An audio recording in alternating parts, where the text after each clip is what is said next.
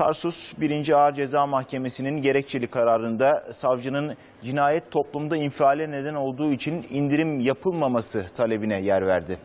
Gerekçeli kararda mahkeme heyetinin fikir birliği içinde ve Özgecan'ın vahşice öldürülmesini göz önüne alarak cezada indirim uygulamadığı açıklandı.